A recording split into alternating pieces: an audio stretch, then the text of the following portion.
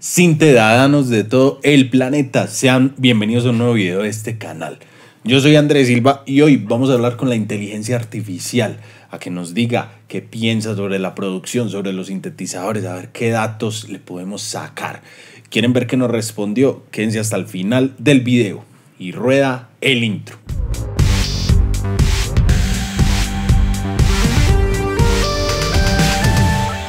Y antes que nada, si son nuevos por acá, suscríbanse, activen la campanita, dejen un comentario para que seamos una comunidad de ciudadanos muchísimo mayor. Ahora sí, vámonos al grano. Vamos a hablar hoy con ChatGP, la inteligencia artificial que está de moda por todos lados. ChatGP es una inteligencia artificial que nos responde preguntas. Yo solamente tengo que venir a este chat de acá y escribir lo que quiero que ChatGP me responda. Y hoy le vamos a preguntar sobre sintetizadores y sobre producción musical, a ver qué nos dice. Y ojo, esto es muy importante. Acá dentro de las limitaciones, el mismo ChatGP nos dice puede generar ocasionalmente información incorrecta. Vamos a hacerle una pregunta sencilla. ¿Cuál es el futuro de los sintetizadores? Le doy enviar y aquí está preparando su respuesta. El futuro de los sintetizadores es probablemente continuar evolucionando en términos de calidad de sonido, facilidad de uso y capacidad de integrarse con otras tecnologías como la inteligencia artificial y el Internet de las Cosas. También es probable que veamos un mayor uso de sintetizadores en aplicaciones comerciales y profesionales, así como en la creación de música y en la educación. Bueno, vamos a hacerle otra pregunta. Recomiéndame sintetizadores baratos para empezar. Vamos a ver qué nos responde nuestro amigo ChatGP. Hay varios sintetizadores asequibles que son ideales para principiantes. Algunos ejemplos incluyen el Korg Volca Series. Los sintetizadores de Korg Volca son compactos y fáciles de usar con un precio asequible. Toda la razón. Behringer Neutron, este sintetizador analógico, es una excelente opción para aquellos que buscan un sonido clásico a precio razonable increíble. Novation Base Station, este sintetizador de bajo es una excelente opción para aquellos interesados en la creación de música electrónica con un precio razonable. Arturia Microbrute es un sintetizador analógico, es compacto y fácil de usar y ofrece una gran variedad de sonidos a un precio asequible. Yamaha Reface es una serie de sintetizadores compactos que ofrecen una gran variedad de sonidos fáciles de usar y con un precio accesible. Ten en cuenta que estos son solo algunos de los ejemplos y hay muchas otras opciones disponibles en el mercado. Lo mejor es investigar varios modelos y elegir el mejor que se adapte a tus necesidades y preferencias. A mí me parecen muy buenas esas cinco recomendaciones, porque con los Volca y los Reface de Yamaha se cubren muchas cosas. El Microbrew es tremendo, el Base Station, el Neutron. ¿Qué opinan ustedes? ¿Cómo vieron las cinco elecciones que nos propone eh, ChatGP? Vamos a hacerle otra pregunta. Recomiéndame sintetizadores virtuales gratuitos bien potentes. Tyrell N6, el primero, ese sintetizador virtual es una réplica de un clásico sintetizador analógico con un sonido potente y una interfaz fácil de usar lo hemos visto en el canal y con este hice yo el curso gratuito de síntesis. Helm es un sintetizador de código abierto muy versátil, ofrece una gran variedad de sonidos, desde sintetizadores analógicos hasta FM y formas de onda complejas.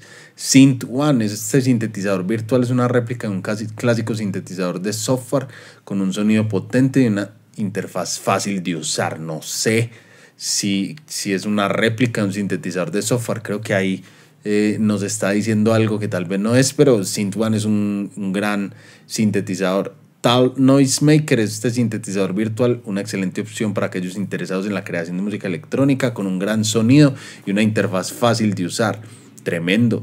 LED es un sintetizador virtual gratuito que ofrece un gran sonido y una interfaz fácil de usar. Es la versión reducida del sintetizador Zebra 2. Cinco sugerencias, cinco recomendaciones que están muy bien, muy buenas esas recomendaciones. ¿Qué dicen ustedes? ¿Sirven o no sirven? Hagámosle otra pregunta. ¿Cuáles son los sintetizadores más costosos? Miremos, existen varios sintetizadores muy costosos en el mercado, algunos de los cuales son el Moog One, este sintetizador analógico, es considerado como uno de los sintetizadores más costosos con un precio alrededor de los 8 mil a 10 mil dólares.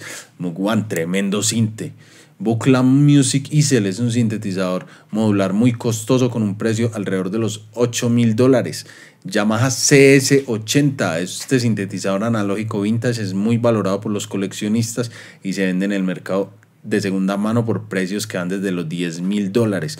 Yo lo he visto en Reverb a 100 mil dólares más o menos. Fairlight CMI, este sintetizador es muy valorado por los coleccionistas y músicos y venden en el mercado de segunda mano por precios que van desde los 20 mil dólares. Modcan es un sintetizador modular de alto rendimiento y su precio varía entre los 15 mil dólares a 50 mil dólares, dependiendo del modelo y configuración. No conocía el Modcan, pero vamos a ver aquí algunas series. Están gigantes. Miren eso. Uy, está gigante. Miren este sintetizador.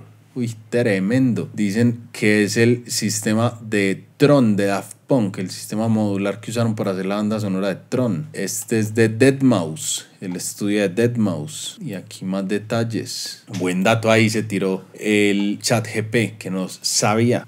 Cuéntenme si ustedes sí lo sabían, yo no conocía esa marca. Bueno, otra pregunta, ¿cómo puedo aprender de producción musical y sintetizadores de forma gratuita y en español? Hay varias formas de aprender producción musical y sintetizadores de forma gratuita y en español. Tutoriales en línea, hay muchos sitios web y canales de YouTube que ofrecen tutoriales gratuitos sobre producción musical. Por ejemplo, el canal de YouTube Sintetizadores, wow, está recomendando este canal ChatGP, está brutal, ya saben si lo dice ChatGP es porque estamos muy bien. Foros y comunidades, hay varias comunidades en línea donde puedes aprender de producción musical y de sintetizadores, por ejemplo el foro producción de música o sintetizadores. Cursos online gratuitos, hay varios sitios web que ofrecen cursos gratuitos en español sobre producción musical y sintetizadores como por ejemplo Coursera, EDX, etcétera. Hay unos cursos gratuitos en Coursera con Berkeley, pero tienes que pagar al momento pues donde quieres la certificación, pero está chévere. Libros electrónicos y gratuitos, hay varios libros electrónicos gratuitos en español donde puedes descargar, por ejemplo, guía de producción música o manual de sintetizadores. Vamos a buscar cómo lo encontramos. Ebook en Google. Bueno, acá no aparece como tal este libro, como decía al inicio, a veces ChatGP suele dar alguna información errónea, pero lo que sí es que los manuales de los sintetizadores sí son muy buenos para aprender de síntesis. Software de producción musical gratuitos. Hay varios programas de producción musical gratuitos disponibles en español. Por ejemplo, LMMS o Ardour, que te permiten aprender sobre producción musical y sintetizadores mientras creas tus propias canciones. Ojo, que Ardour es gratuito mientras tengan Linux. Si no, no es gratuito, pero muy, muy buen dato. Vamos a mirar esta otra pregunta. ¿Podrías mencionar algunas tendencias actuales de la producción musical? A ver, ¿Qué tendencias hay que podamos usar para hacer nuestros beats, nuestras canciones? Bueno, varias tendencias en la producción musical. Esta primera, producción en la nube. Cada vez más productores están utilizando herramientas y servicios en línea para crear, colaborar y almacenar su música, lo que les permite trabajar desde cualquier lugar. Eso está muy, muy pro. Producción móvil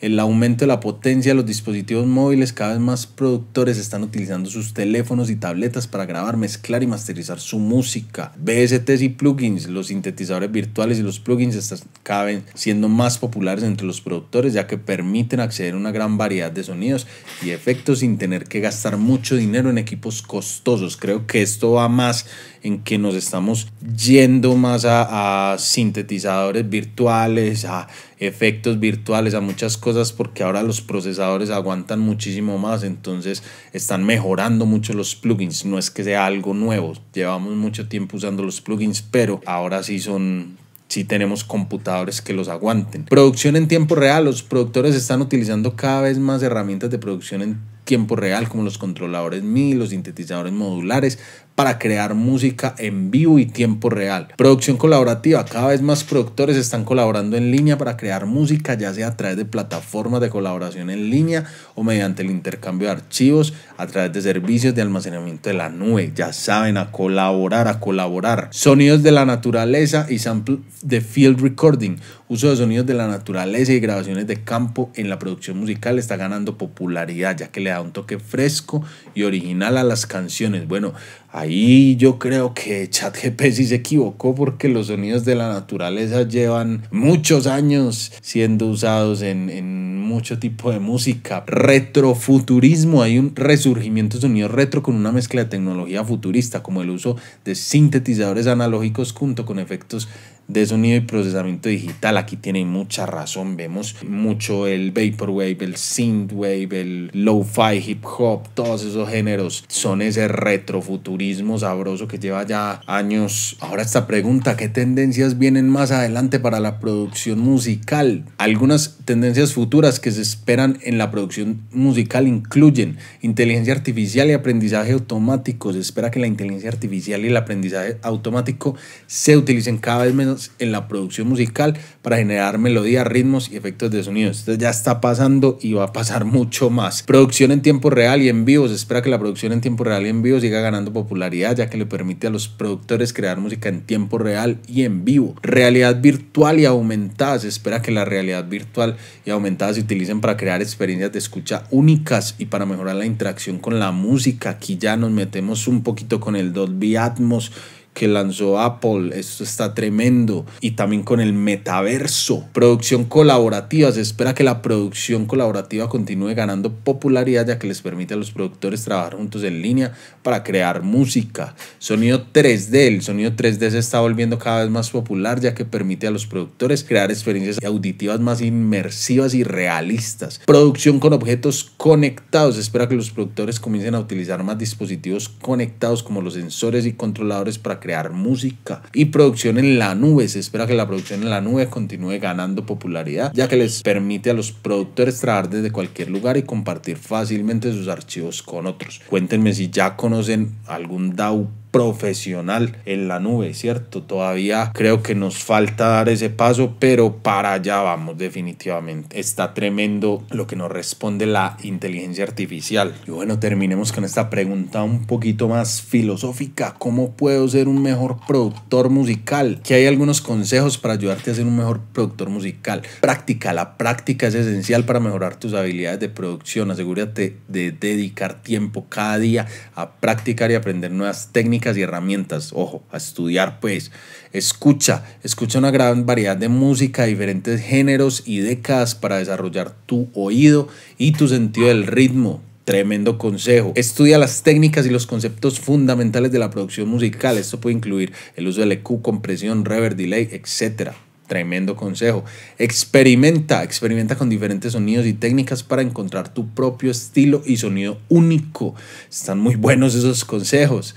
Utiliza herramientas de producción, utiliza una gran variedad de herramientas de producción como sintetizadores, secuenciadores, grabadoras, etcétera, para crear y mezclar tu música. Aprende a mezclar, aprende a mezclar tus pistas para lograr un sonido balanceado y profesional.